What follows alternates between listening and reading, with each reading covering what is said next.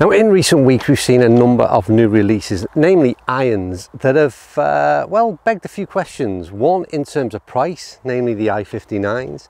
And then you've got things like the P790s which have come along with a new version. That's the third iteration of the P790 since 2017. The questions are, is, why are the i59s so expensive and how much better are P790s from their initial model?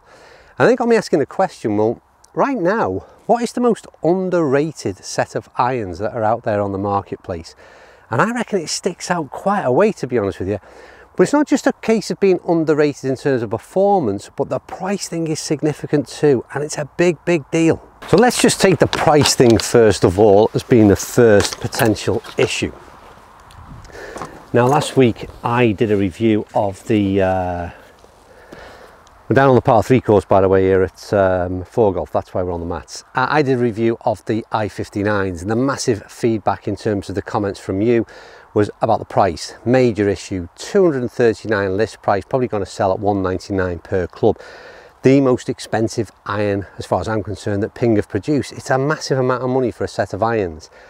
Then you go to likes of the P790. They're coming at 160, so that makes them kind of like, what's that, 1100 pound for a set, a set of seven irons. And again, that's probably the norm. To be fair to TaylorMade now, whether it's good or bad, if you look at Mizuno's and you look at the TaylorMade and you look at Callaway irons, that type of iron is going to be pitched in around £1,100 for seven irons. It's a huge amount of money. These things I've got in my hand right now, which I'm saying are massively underrated in terms of performance, well, they come in at literally half that price. I want to know what the difference is in terms of performance. That's it. Now the clubs I'm referring to would clearly fall into the, let's say the game improvement category, even though I hate those kind of labels. But to me, they probably appeal to the mass market and certainly to the majority of average golfers out there. They look good, they play really well. As far as I'm concerned, the performance is really good and the price difference is massive.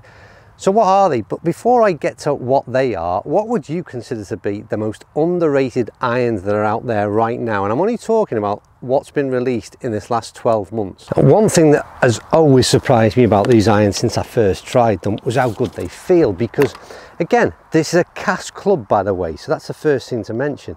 And I'm always surprised, like I said, when a cast club sort of my big deal in terms of golf irons that is is all about feel. And when I get a cast club do they really match up to forged no they don't and these don't either. But they do an incredibly good job of sounding really good and therefore feeling good as well. Hit the flag. And he did. So enough of the guessing games, let's reveal what these clubs are. But the way I'll do that is going back inside. And what I'm going to do, I'm going to pitch my most underrated iron up against the P790 current model. We'll check some dry ball data and we'll see how they compare first of all in terms of their performance difference. And maybe this is the maybe this is where we'll find why there is such a difference in the price of these two clubs to start with. Right, seven irons up for collecting some data. Um, I've got these two clubs, like I said, are most underrated in RP 790. Just that address, just to compare these two. From the top line, not a lot to split them. If anything, the most underrated looks that little bit narrower, if you like. It's chamfered off a bit better. It's been a bit of a surprise on the P790s this year that they've got that top line, I think, looking a bit chunkier than they did in the previous models. But from heel to toe, there is a difference but not a lot to split them at address. But overall, this is definitely a chunkier profile and would, like I said, and I'll continue to say, probably fit into more of that game improvement category. But let's collect data and see if we can find out what the difference is between a premium club and what is my most underrated. We'll switch over just while you're still got this camera rolling and after a decent ball with my most underrated what happens in terms of the feel difference when I move over to this? Well debatable forged head on the P790 well you can probably hear the difference this P790 is got such a clicky sound to it that it's the one thing in the previous review that in terms of everything about the P790 I love the one thing I've still got an objection to is the way they sound. And if anything, my most underrated it's got a little bit of a softer feel to it and it's a cast club. The suspense is probably killing you or if not it'll certainly be boredom but either way I'll reveal what the uh, club is. My most underrated iron is the PXG 0211. Why is it the most underrated? Well because first of all it's a decent looking club. Not the best looking club, decent looking club.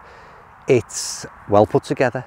It feels really good, surprisingly good considering it's a cast club. That bit has always baffled me as to how good this feel is. It performs really, really well. That dry ball data we just collected, I'll put up in front of you now. These are two seven irons. The difference between them is very much about loft. The seven iron and the 0211 is 28 degrees. The TaylorMade is 30.5. So what you see there really is a drop off in spin number and that little bit of added distance comes from the, P, uh, the 0211 launch angle being identical.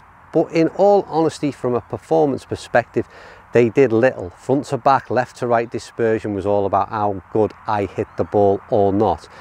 So they tick every single box in terms of when you're doing a comparison video. But then you get to that vital point that I make about price and that's what everybody's been talking about in recent videos and why I chose to do this video today. Never did I think I'd do a video where I suggested PXG was the most underrated, but a lot of it down to the price point that it's at. These are £80 per iron. And if you compare that to that of the i59s at being £239, the P790 is at £160, and a P790 being probably about where it's at right now. If you looked at Mizuno, Callaway, um, TaylorMade's premium irons, then they're going to be in and around that sort of 160 number per club. So these are half the price. And people talk about how expensive golf is to play. And yes, it's a very expensive sport, but if you want to get some real value for money right now, then I cannot see past these 0211s. Like I've just said, so far, every box has been ticked. I'm not too sure what more we can do to suggest these are the clubs to go for if you want to save a bit of money but not make massive compromises in terms of quality.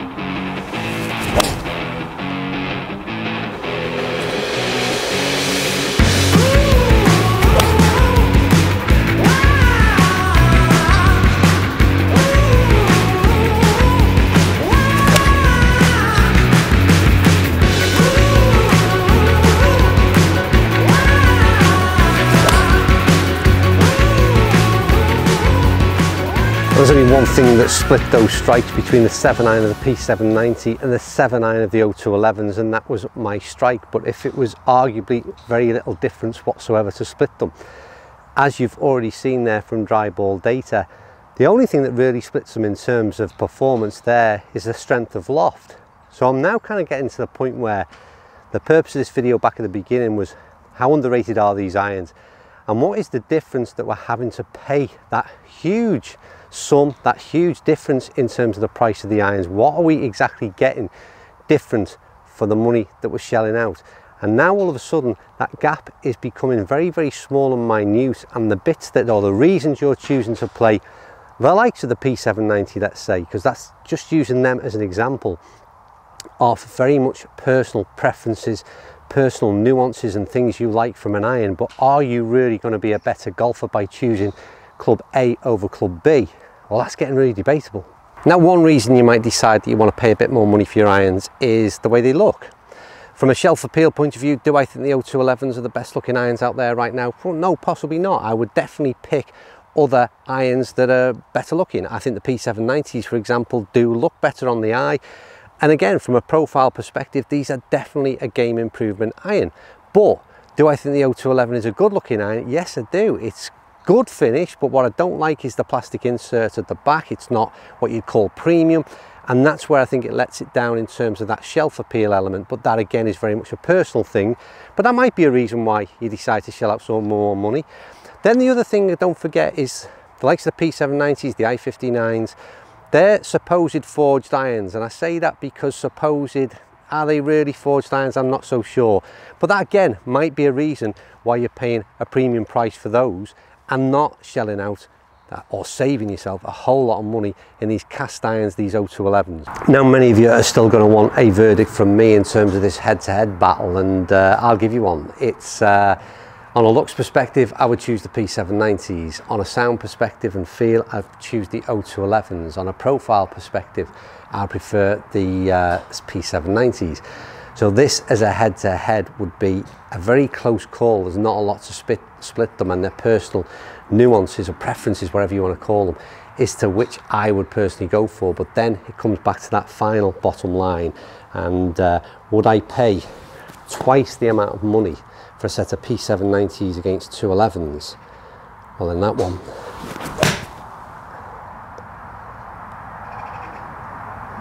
I'll leave up to you.